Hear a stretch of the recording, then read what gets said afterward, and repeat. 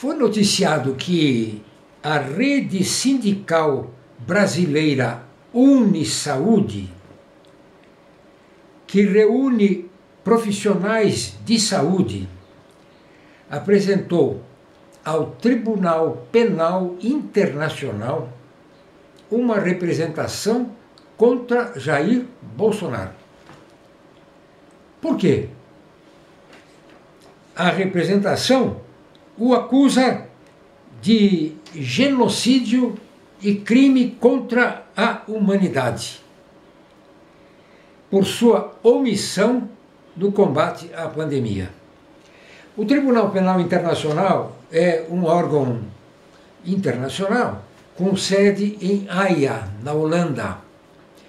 E ele cuida de eh, ataques a, a, a, a populações, eh, a genocídios.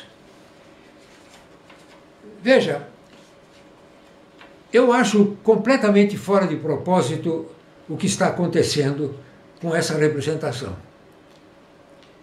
Primeiro que Bolsonaro, eu acho que não cometeu nenhum genocídio. Ele, em relação à pandemia, ele tem, sempre teve atitudes altamente condenáveis.